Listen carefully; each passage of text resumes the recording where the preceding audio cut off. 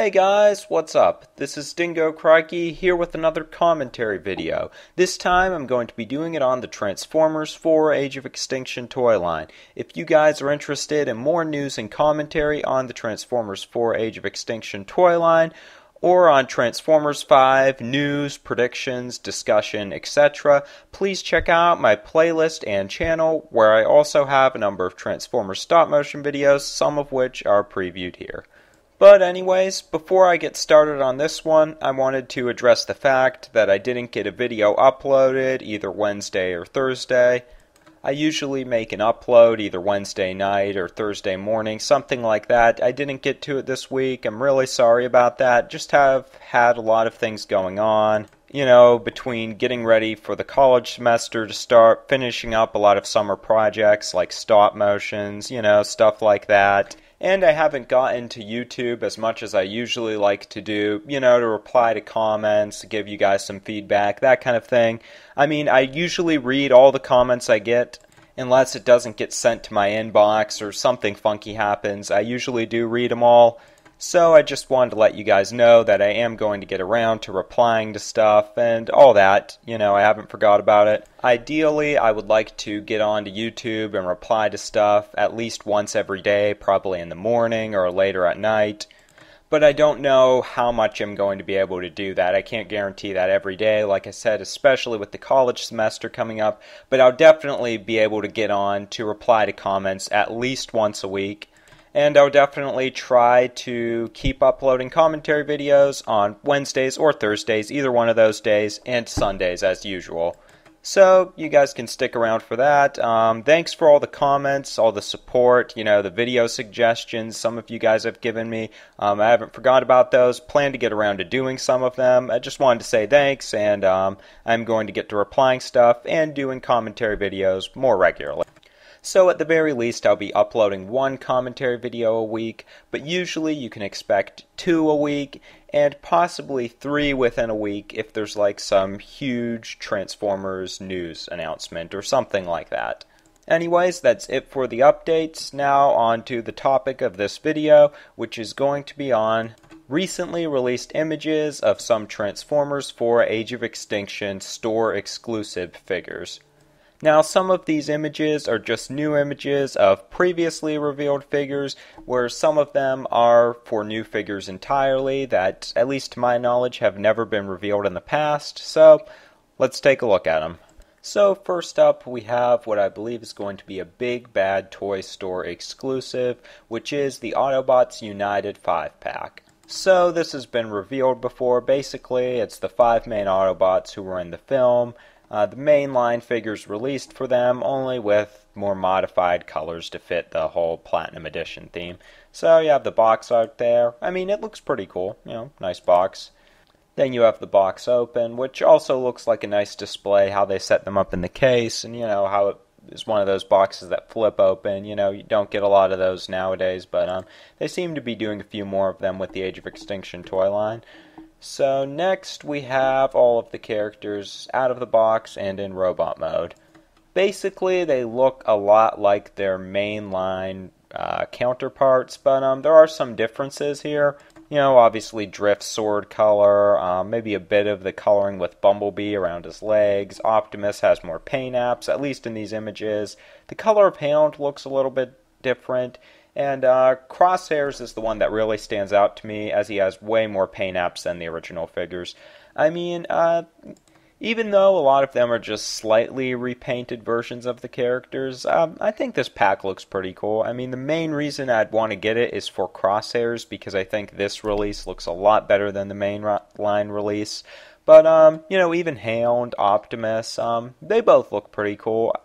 The other two, they're okay, but, you know, if I only had the mainline releases, I could definitely live with that.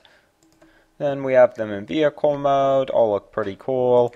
Um, next, we have another Platinum Edition set, which I believe is called the Battle Breakout. Kind of like when Optimus breaks out of the barn, and, you know, they add a few other characters and, you know, that kind of stuff. Now, I don't know if this is a Big Bad Toy Store or Amazon exclusive. I I'm really not sure about this one. I really hope it's just something released in the main line, so you know it doesn't cost as much and all that. But um, I'm really not sure. So you guys can Google that one and you know drop off more information on it in the comment section. Anyways, the box art for this looks really cool. Um, you know, it's nice to see how they have movie-styled Optimus and um, Vehicon, along with putting a box art of Rollbar right there and with him, even though he's a Generations mold. So that looks pretty cool. In the box, kind of a similar thing to the Autobots United pack. Nothing too great, but it's a kind of cool setup they have going on there. And then we have them all in robot mode, well, except for Rollbar. I mean, the Vehicon repaint, seen this before, but uh, gotta mention, I'm not really crazy about the fact that he is just black and blue with no other paint apps. You know, looks very similar to the original crankcase mold, but you know, it still doesn't look too bad. Um, I'm really liking the look of the Scrapyard Optimus. I think that's what he's called. He looks really cool. Um, and then Rollbar, um, you don't see him in robot mode there, but in both modes, he looks really cool. That pack is definitely one I would like to pick up. Um, next, we have another Big Bad Toy Store exclusive, which is the long awaited Platinum Edition 5 pack of the Dinobots. So basically, you have the four main Dinobots that were actually in the film, along with Slog, all in more movie accurate color schemes. And I gotta say, overall, I really, really like the looks of this. Now, if a lot of that is chrome on the figures, that's kind of hard to tell. I can't really say for sure. That would be a little bit discouraging, as the way they use chrome in this line I don't think has been that well, but um, they look really good overall, even if a lot of that is chrome. I mean, Scorn looks fantastic. I love the way they kept the spine red, but, you know, gave the rest of his body more of that movie accurate color scheme. Um, Slug looks great. Um, you know, Strafe, eh, he still looks pretty cool. Grimlock, a little bit brighter than the rest of them, but he's cool. And, and Slog, despite the fact that he's the only character in this pack that wasn't actually in the film, he looks really, really good in those colors. Um, really liking the looks of this pack. Now, it might be kind of expensive because it's a big bad toy store exclusive, but you know, this is one I'd really think about getting. Um, not too many problems here. Now, if that is chrome on the figures, that's going to be a little bit discouraging, but um, still, overall, looks like they did a nice job, at least in my opinion. Looks really cool. Unfortunately, we don't get to see any of those in robot mode, so we'll move straight on to the G1 color schemed version of Slog, which I believe is an Amazon.com exclusive. So here we have Slog in robot mode in G1 colors.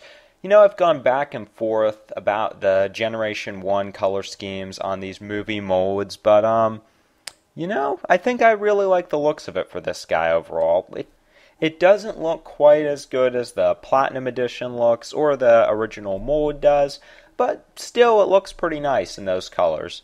Um, the color placement looks well. The black and silvery white look nice together. The blue visor gives a nice contrast. The only thing I really don't like as far as their color placement choices is the yellow feet. And that looks kind of goofy. There might be a reason for it, but not sure I like the looks of that. But um, overall, I like the looks of this figure.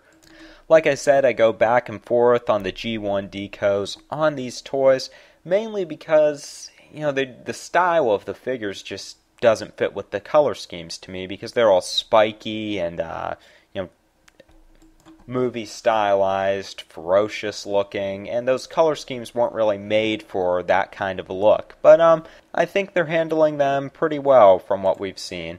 And then we have him in beast mode, where um, I think the color schemes also work pretty well here. Um, not too much wrong to say. They did give him the yellow head. That looks a little bit weird, but it is G1 accurate, so if that's more important to you than um, it, you know, looking totally in sync with the mold, then you know, probably don't have a problem with that. I kind of wish they would have made the rest of the neck yellow. That would have looked cool. But um, the chrome, you know, in the body, that looks nice. Um, yeah, looks like a buy. I mean, I think it's gonna be like thirty-five dollars or something like that, at least to pre-order it. But um, you know, looks like a pretty cool figure. Then we have him in his box. You know, looks good there too. I uh, love that box art on the side. They didn't change it at all, but hey, what can you do? Then, at long last, but not least, we have Leader Class Optimus Prime along with the trailer, and a deluxe class figure as well. Now, I don't know the exact reason or story behind it, but this is a pack that a lot of people were assuming would contain deluxe class Stinger in it. Optimus Prime with the trailer, and then he comes with deluxe class Stinger. A lot of people thought that's what it was going to be. But as these images reveal, it is in fact not Stinger who comes with Optimus, but it's a repaint of Revenge of the Fallen Sideswipe in his G1 color scheme. So there is a positive and a negative to this. The negative, of course, would be that we still have to wait and see if there is going to be a deluxe class Stinger figure. The positive is that Stinger's not just going to be a repaint of Sideswipe. When images of this were first released, I think it might have been labeled that this figure was Stinger, this repaint of Sideswipe, which would have been very disappointing because Sideswipe really doesn't look a lot like Stinger at all, and the color of red isn't even right. But um, this isn't Stinger, so that is a good thing. You know, there's still a chance he could be an original mold or repaint of Bumblebee, and we finally have a G1 styled version of Revenge of the Fallen Sideswipe. Taking a look here at both figures in robot mode, the color scheme works pretty well. It looks pretty similar to Swerve from Revenge of the Fallen, but you know, still looks like worth buying. Definitely a lot more G1 accurate to uh, Sideswipe's counterpart. Looks like they did a lot of nice paint apps too. Um, not a bland looking figure, looks really nice. And that's a pretty good mold overall, despite a few of the problems in the leg areas and that kind of stuff. It looks really cool, so that looks like the cool part of the set. The Optimus Prime, um, being the hundredth version of this mold, um, this one doesn't look that great. They really, really overdid the chrome. Nothing too unique. The sword doesn't even look any better than any of the other swords. Just, eh, not too crazy about this one in robot mode. I really don't like too many versions of this Leader Optimus. I don't currently own one. I'm waiting for the Platinum Edition that comes with Leader Grimlock, because that one looks better. But let's take a look at them both in vehicle mode. So, despite the looks of Optimus Prime in robot mode, um, he looks really nice in vehicle mode, and the trailer looks nice with him. I mean, the colors blend together, the flames on the truck look nice, um, trailer looks really cool, and I believe Sideswipe will be able to fit inside the trailer, so that's cool. Sideswipe looks like a nice figure as well. Um, yeah, overall, it looks like a pretty cool set. I mean, I like Sideswipe in both modes, he looks really cool. Um, Optimus, well, he doesn't look great in robot mode, but maybe it'd be worth it for the trailer and the way he looks in truck mode, you know, just for display purposes or something like that. Overall, while I can say the set looks pretty good, gotta say in some ways it probably was a big disappointment because this was something a lot of people were thinking was going to come with deluxe class Stinger, which if you guys have watched my previous videos or looked at my comments, you know that I'm really, really anticipating the Stinger figure. If it's ever going to be released, I'm really, really looking forward to it. And this, along with the fact that we haven't seen another deluxe figure for him, is really not many good signs for Stinger. But it doesn't look all that bad for Sideswipe.